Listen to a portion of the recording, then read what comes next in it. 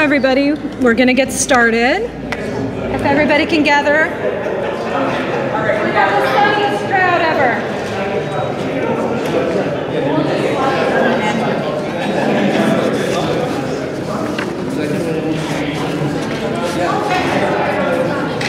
Okay, good morning, everyone.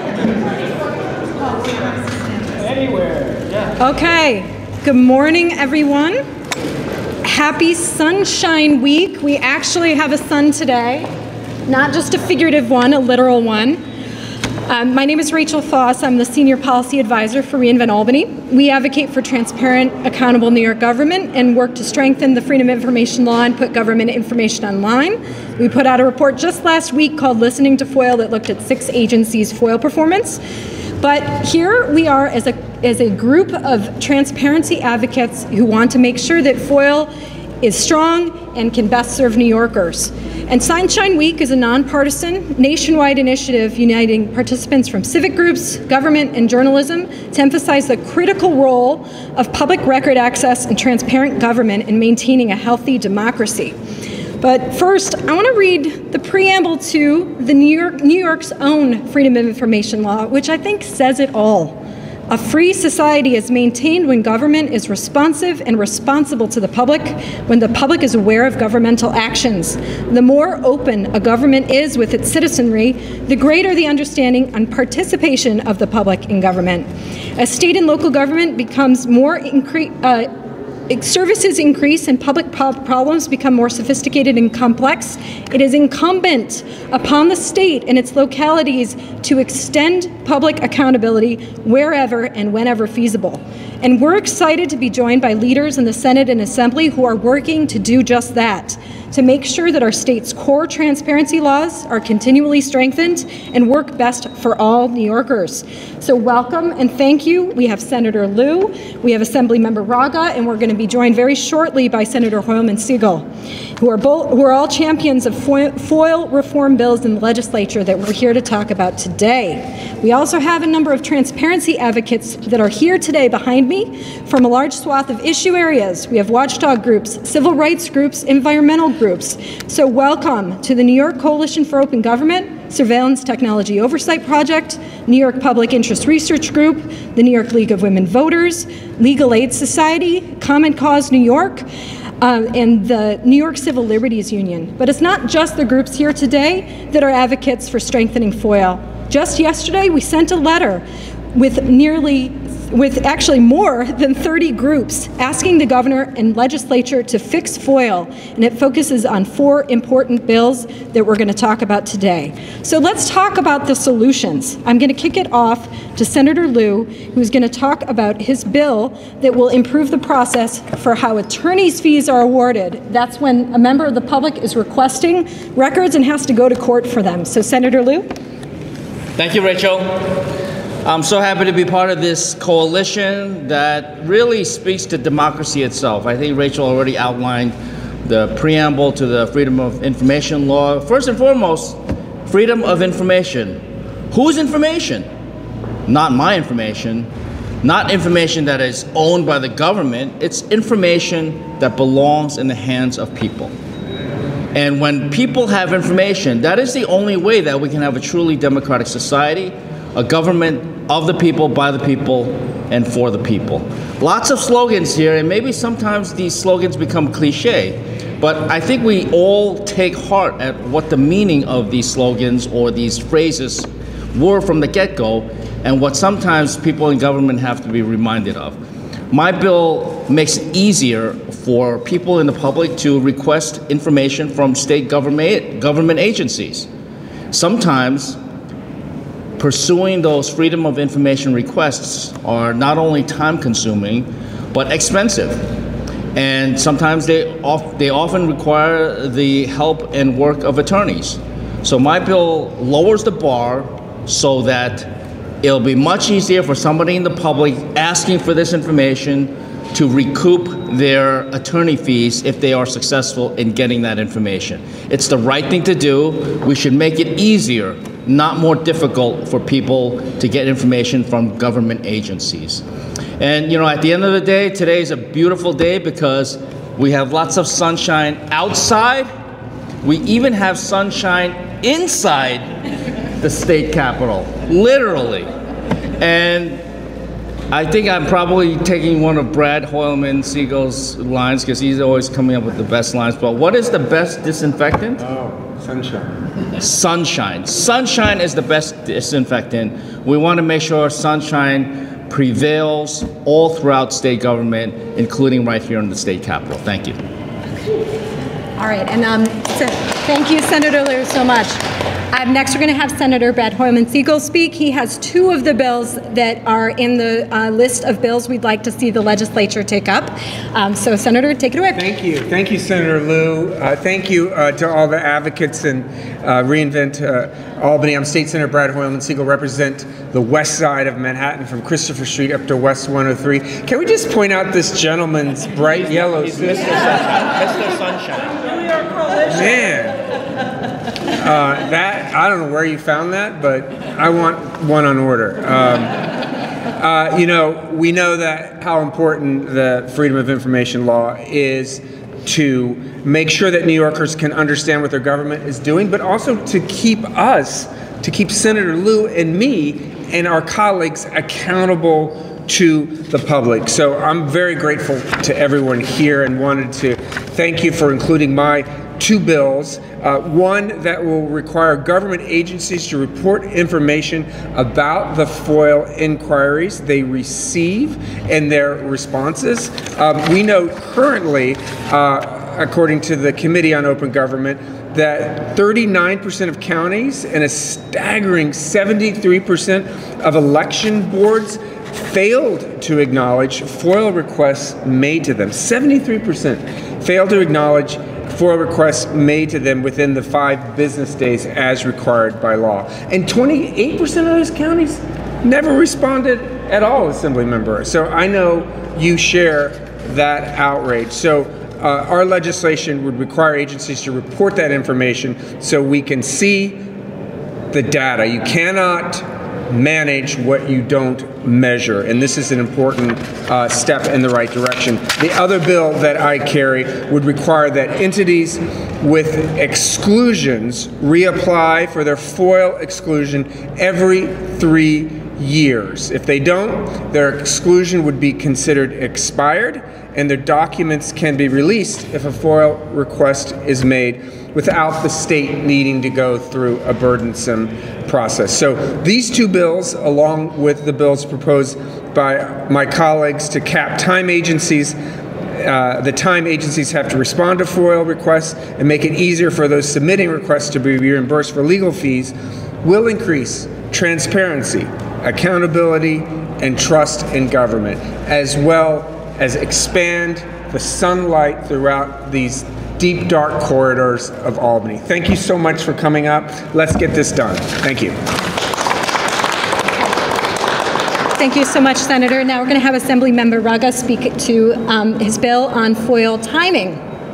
Thanks, Tracy. Thanks so much. Uh, thanks to uh, uh, our senators, the advocates here, and, and all our colleagues that are uh, here in full support uh, here in Sunshine Week to make sure government here in Albany and throughout the state is, is held more accountable, has more transparency, and is more easily accessible to all the people uh, of New York.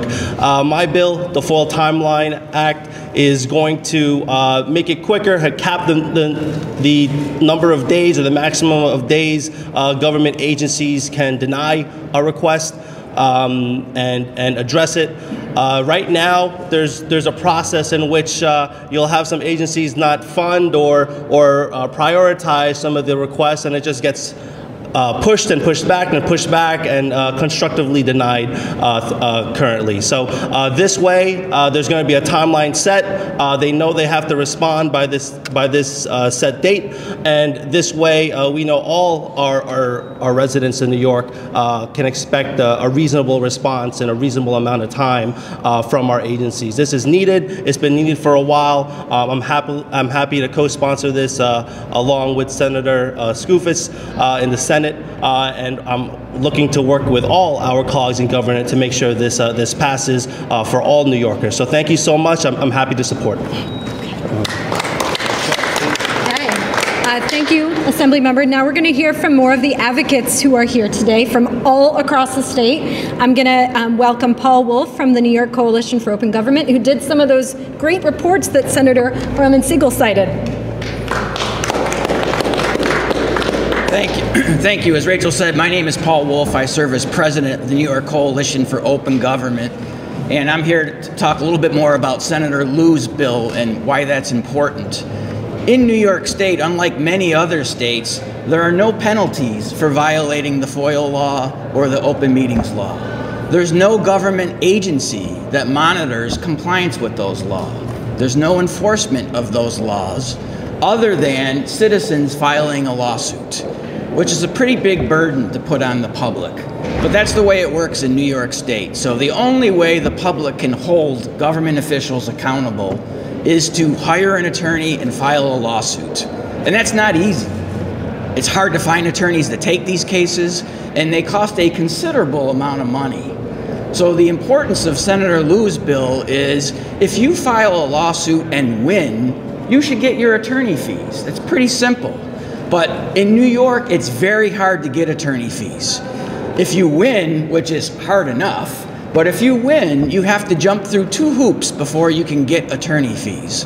One is you have to substantially prevail, which means you have to really win. Winning alone isn't enough. You have to substantially prevail.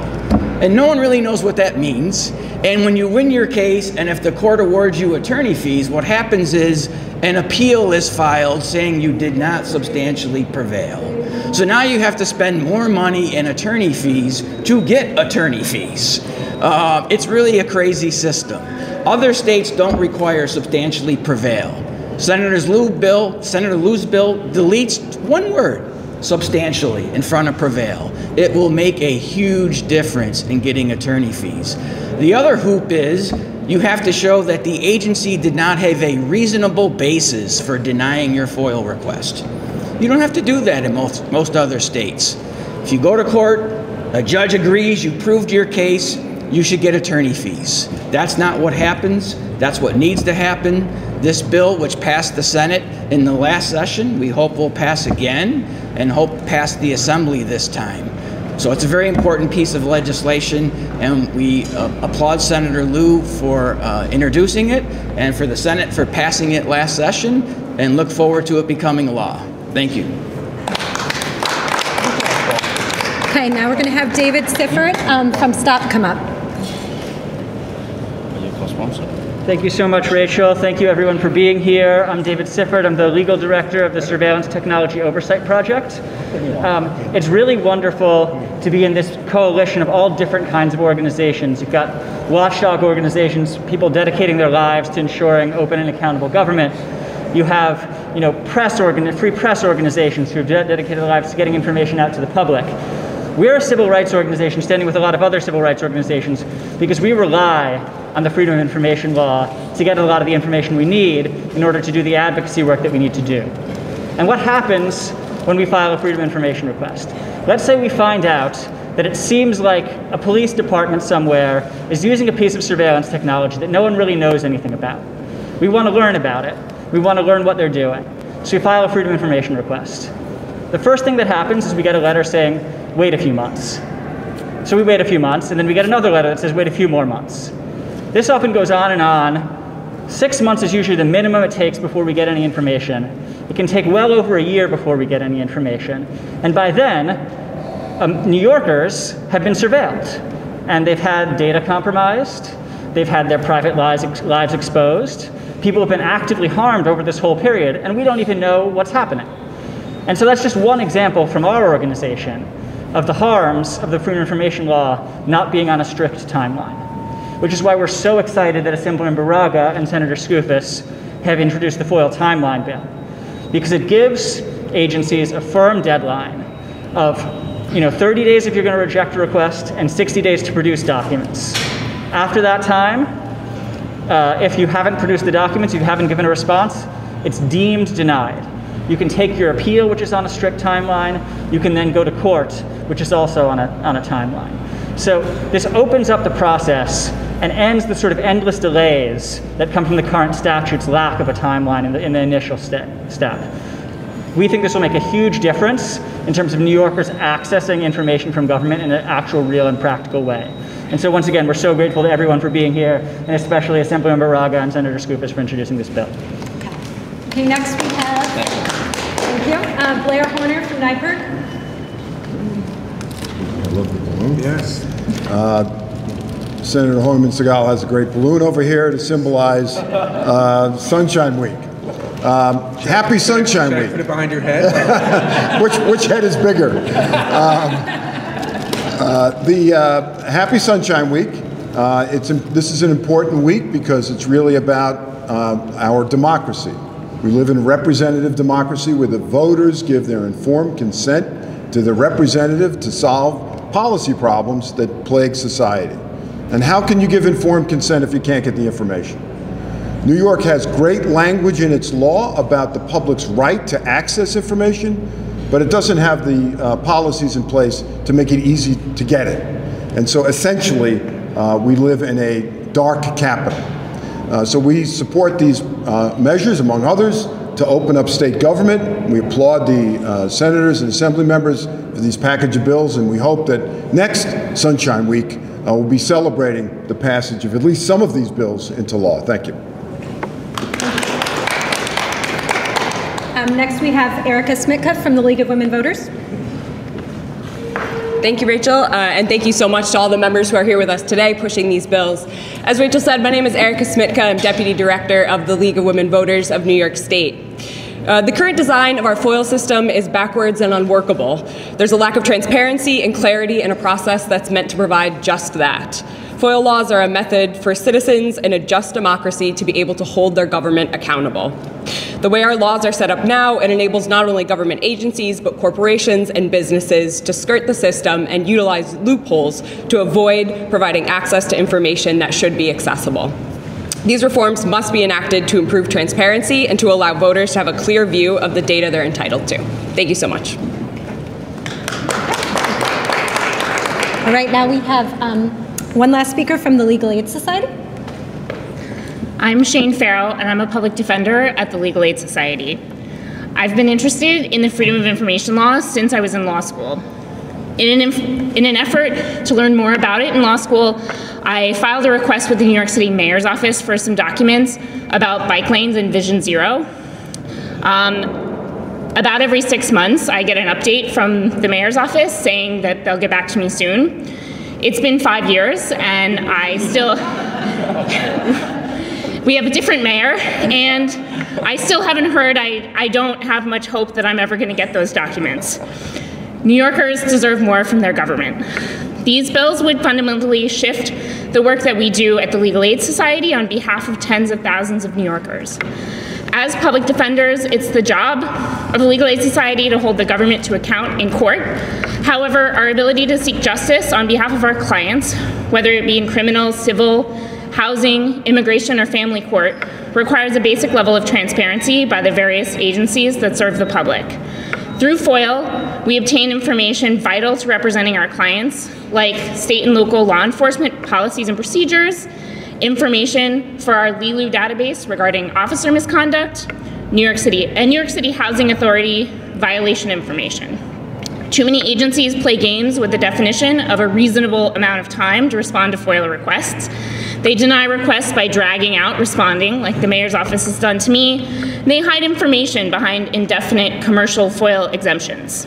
It's time to shine a light on the common practice of FOIL avoidance and pass these bills to ensure government agencies are actually able to be held accountable by the constituents of this state. Thank you. Okay. So thank you all. Um, we have sent the press release to the members here, but there are four bills. We would like to see four bills passed by both the Senate and the Assembly and signed by the governor.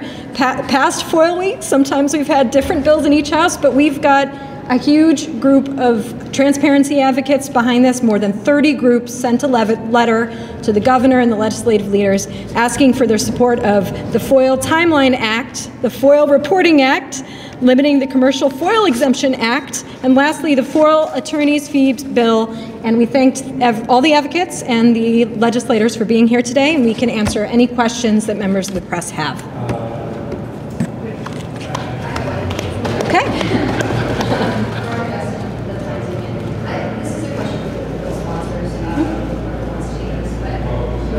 major priorities of the Bill administration was to increase transparency in government, including also the political process. Um, in your opinion, has that, has that occurred? Uh, do you think this is sort of correcting, you know, what, what she said that she's going to do with the past taken into account? Or is this bolstering what already exists?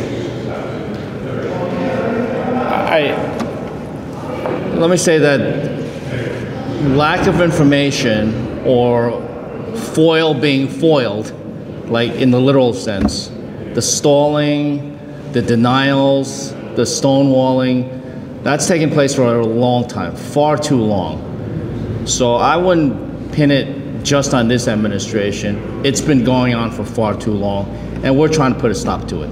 Thank you. And let me also say, I, I appreciate the governor and even tip, you know, putting her toe in the water of, of uh, FOIL because it is a vexing issue for government entities. As you heard, uh, it's at every level of government, not just the state. But it's up to us as legislators to pass laws to strengthen FOIL and increase transparency. So we have to work in partnership to do that. She's offered us the opportunity, and I think we're taking her up on it. Just one follow-up. Um, in terms of enforcement, you said the courts usually here, but is there a way to legislate um, some teeth into these proposals? You know, penalties that, that agencies can be assessed if they don't respond? Uh, just five years to get the mayor's office to respond to a FOIL. Is there something that you guys do? I think that's what these bills do. They set up tighter mechanisms, shorter timeline, or more clearly defined, mostly shorter timelines, and also the awarding of attorney fees. That that is that becomes less of a disincentive for public, including the news media, to pursue that information, and more of an incentive for the agencies to provide information on a timely basis. And I, I would just add that, you know, I think we don't even understand the scope of the problem. I mean, we heard from Shane from the Legal Aid Society about the five-year FOIL request, but we don't even have the data to show exactly how broken mm. FOIL is, and I think that's why Senator Hoylman Sigal's bill on FOIL reporting is so important because then you can actually, if you know how many FOIL requests every agency in the state government receives, then you can properly staff it.